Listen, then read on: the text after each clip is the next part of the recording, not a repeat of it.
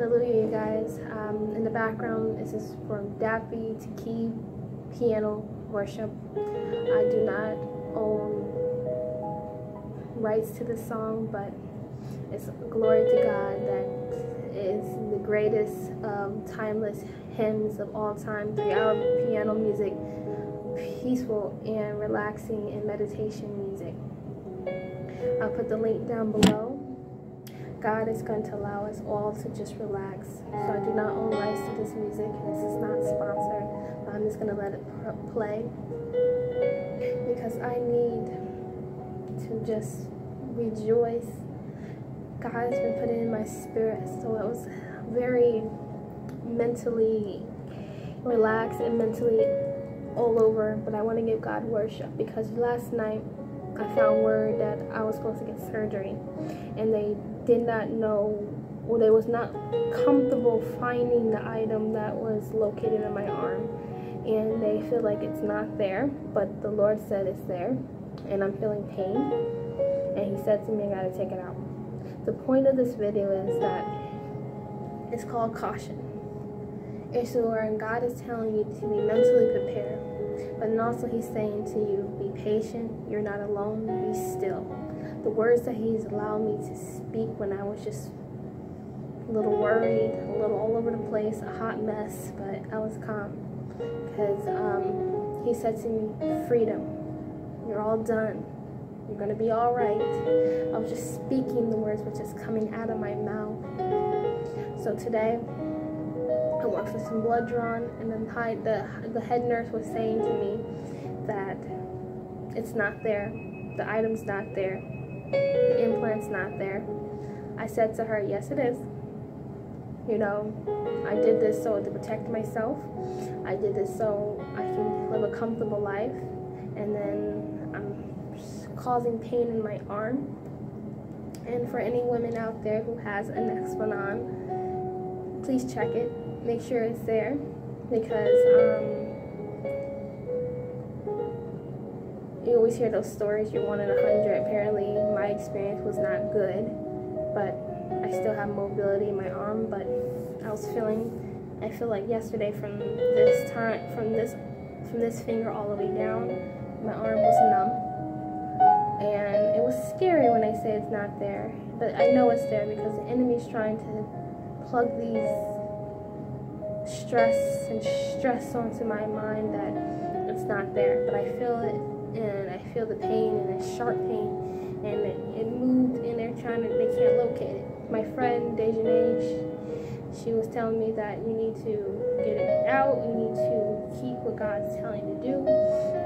Shipping and changing, so I had to deal with that for the last two days. God made a way for me to get an ultrasound. They cannot locate it. I, they to more prevention and they allowed me to get a chest x-ray and, another arm x-ray the first time they couldn't find it but as I feel it I can feel it in my arm so you guys please pray for me because I'm in I'm at peace so they said today that they're not comfortable going in my arm cutting my arm trying to look for it they can't find it so the next best thing is to get the blood work and they said if they find any hormones in it they know what's in there so I believe in God. Believe in what He's telling me. Gotta take it out. So uh, another matter. I woke up today.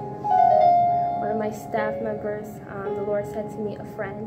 She called me and she said, Miss Jellisa, I'm just letting you know, in case no one else was gonna call you and tell you that today was my very, very last day at the job. I said, oh no. I was like, yeah. She said, this is your very last, my desk day. She said, I wish you luck. If you need anything, here's my number. Even if we didn't text, we all had the same thing. Praying for her. The whole thing I was telling you guys the word caution. I forgive the people there, but also I will remind myself not to get too comfortable. But the Lord said to me, prepare yourself.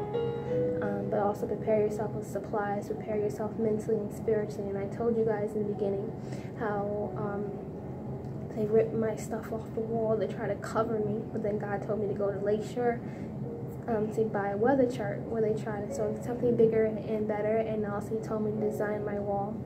So I guess because I was out for a month, they hired somebody. I'm gonna have a conversation with my boss to update her about the surgery, what went down and what did not go down. They were not comfortable, but also the Lord told me, I said, Lord, I said this very same thing I'm about to say. I said, God, I do not know what I need to say and speak, but He's been telling me to call. So I called and I told her I need a couple days off, but today because um, the employee called me and I need to. That was that was like a go And so God to let me know. I asked her some couple questions about who's who. No one's telling me I hired. Blah blah blah. You know, Lord told me to pray for them. Told me to pray for a quiet atmosphere against English. Um, pray for all the classrooms and low numbers. Pray for my assistant, Miss A, and praying for strength, praying for her to hold down and that she will help me, continue to help me. And I, we work so well together. And also, I, the, what the Lord told me is just said in my classroom. So I'm going to call her and tell her about what was going on. I have my doctor's note. I'm clear to come back. I'm ready to come back, but also I would like to be in my classroom when I come back. And for the transition for whoever that new lady is, since since another teacher named is A left, that other teacher, Miss M, um, she don't know me, I don't know her, but I'm gonna thank her. But she needs to. They shouldn't. I don't want her to think that. Because sometimes people get too comfortable in the position where it does not belong to them temporarily. And I'm praying for her. I want to pray for her. I want to thank her. I don't want it to be where here I am, haven't been in this school for a month, and she has been very helpful.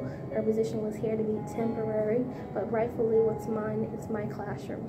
The Lord said to me when I first started this job, they cannot, they cannot, cannot afford to fire you.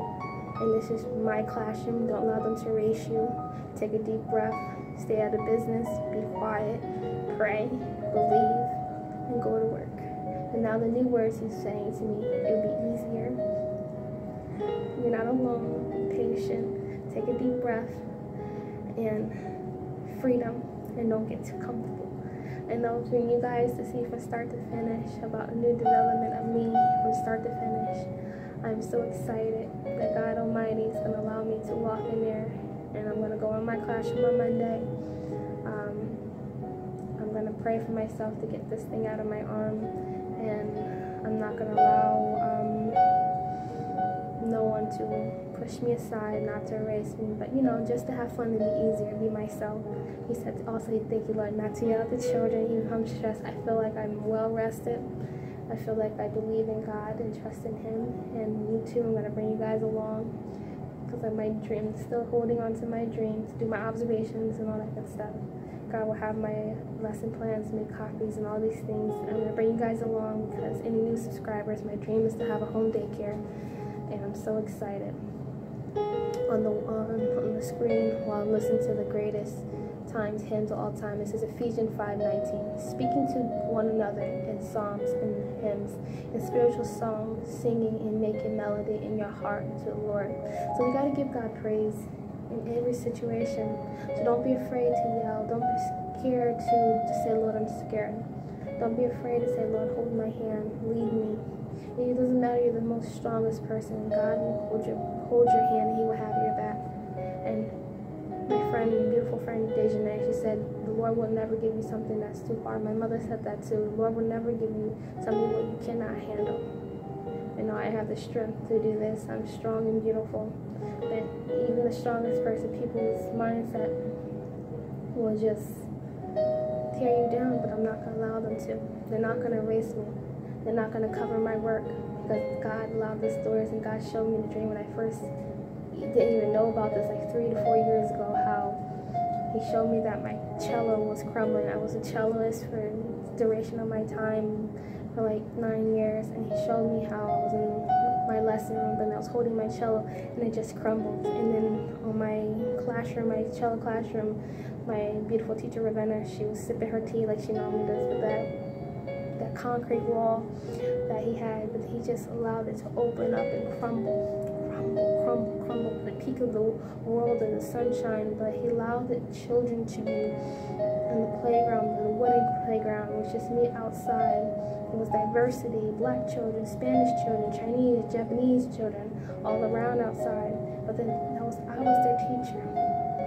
I was their teacher. And then there was a wooden class, wooden playground. And then when I got this job, I knew I touched that playground I was wooden, And I knew in my heart I was hired. And the enemy's going to try his best to destroy you. Do not give up, you guys. Be cautious. God's telling you, be cautious. You pray. You go to work. You have to be. You have to be filled with the Holy Spirit. You have to read your daily bread. And also just take a deep breath because you guys, I am excited regardless of my arm, God has me and I'm, I'm doing the best I can. I got to get this other um, physical for my job done. Um, getting a physical done. I got to get a shot TB test to see. You know, I, of course I don't have it, but that's a state regulation. You have to get every two years, and so it expired. So I have to get that done before I enter that job. You know, my doctors know, you know, time off. just gotta take a deep breath. God's telling me to do. Just have fun. And I'm so sorry to leave Miss M. I'm pretty, I'm pretty sure you guys, you guys cannot be so nice all the time. You can't be handing your blessings over to people. Yes, it may look nice. Oh, she can have it. No, she can't. Because God's gonna look at me like, what's up? All the times I heard you, all the times that I helped you, and then you're gonna back down. God said to finish and he's to make it easier. He's not going to make you look like a fool. Don't be afraid. Who cares if the person's laughing at you? Who cares if you look out of place? But you have to stand your ground. Do not allow people to move you aside. You may be the most timid person, but you have to speak up in not a way for to be boastful, to be. But this lady on the bus, I was saying, Lord, I'm running out of people to talk to. People's probably tired of me speaking. Before I do this, just popped up on the screen. It says Psalms 101 through 3. Bless the Lord, O my soul, until God is with me. Bless his holy name. Bless the Lord, O my soul, and forget not all his benefits, and who forgive all your inquiries, and who heals all your diseases. You know, I was saying, Lord, I'm running of people to talk to. I have no one else to talk to. I talk to my mom every day. Talk to my my friend Dejanae. We had a nice conversation, made me feel a lot better. But there was this hole in my heart. I called my friend Miss Queen Random, but she was at work. You know, usually people call me. I'm always the one busy, and now you know. Then might the Lord remind me of my older sister. Like we're a team. She's holding my hand. I said, Lord, I'm not going to forget about her. I talked to. She said, Jellisa, you're going to be fine because my Lord's leading me to help my two younger, my two sisters, Jamiela and Arlene. God. I, you know when it's at the peak of your blessing. I just gotta take a deep breath, you guys, because I don't know what tomorrow lies. Only thing I know is that I gotta survive. I gotta go to the next step. I gotta pay my mom's debt while I still have this job. I'm almost at my goal. I gotta get my car, you guys, because I, I got this lovely boot. Um, the ties of things, God is gonna allow everything to work out in Jesus Christ's holy name. God be the glory. God's going to restore everything. I'm not going to give up, you guys. So I'm going to read the prayers of knowledge, submission, and position. Heavenly Father, I come to you in Jesus Christ's holy name. I acknowledge that your Son, Jesus Christ, is my Lord and Savior, who I acknowledge and above all has all authority and power in heaven and earth over, in, and through my life, and I willingly willing bow and surrender and submit to all areas of my life, and all that I am and all that I have unto you, Heavenly Father. Son and Holy, the one, the true and loving God, Creator in heaven and earth, under your lordship and my Lord and Savior and Master. Thank you, Lord. He also said to me, You're not here to serve nobody. And also, people want to think that you're weak, thinking that they can run your life. Everybody has a position. I did not sign over my life to be just to be a, a submissive dog in the school. No, I'm here to teach. I'm here to to run this classroom, to be the head of this classroom. The Lord said to me, they don't have confidence in you, so therefore I have to make sure I'm the head of my classroom. They can talk about me, I don't care. Just stay out of my way. That's how I am, and that's how I want to do. I want to set up my classroom. I want. I didn't get a chance to do that last year because people were always hovering over me. Then I didn't get really get the support of people around. They did, but it was just more like it should have gone with the flow. And so therefore, that temporariness from the month is over. Whatever they done last week, I clapped for them. Thank you. But now I have to take my rightful place in my classroom because we can't be all so submissive. We can't give everything away, and I can't accept everything. And I'm gonna have a conversation with my boss tonight. You guys, please pray for me. and give me the strength. It's now 127 and I'm doing all the best I can and we're going to continue.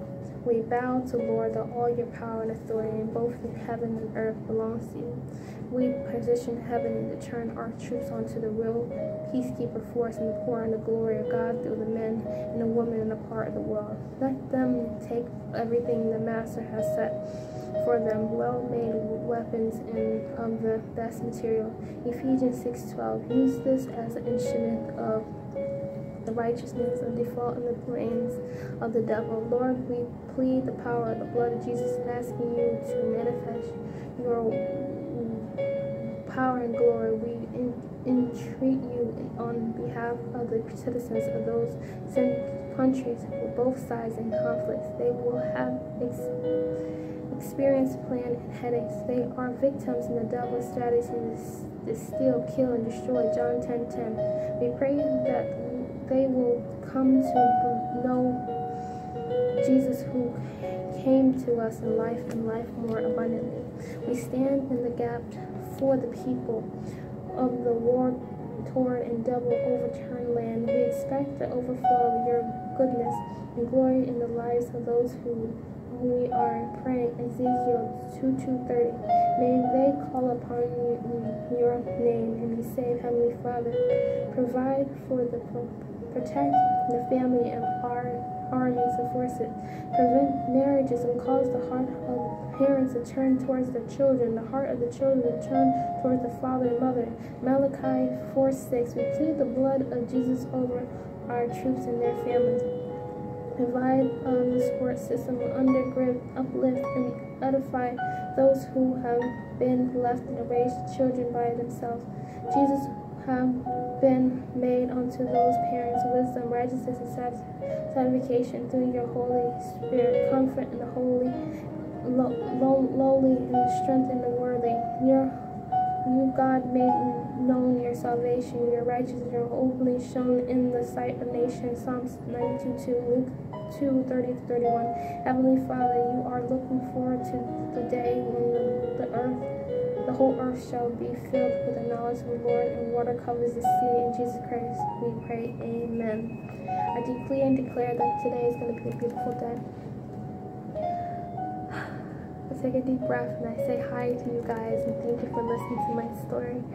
And I, this is a dream come true, you guys, because without you guys and I have a big people around me to talk to, it's you. You are special and you are humble. And um, even though I was feeling low, God supplied. He always told me that He's going to send people to me.